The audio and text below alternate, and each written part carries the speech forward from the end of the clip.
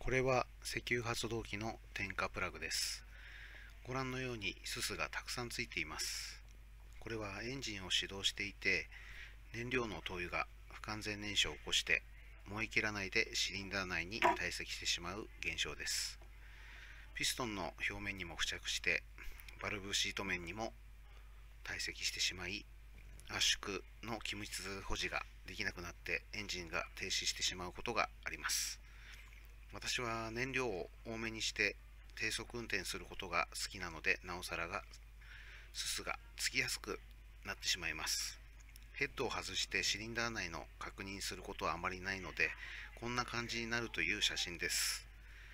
点火プラグだけなら外して掃除できますけどなかなかヘッドまで外して掃除するっていう機会は少ないです。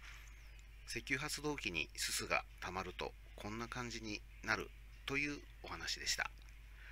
以上です。それではまた。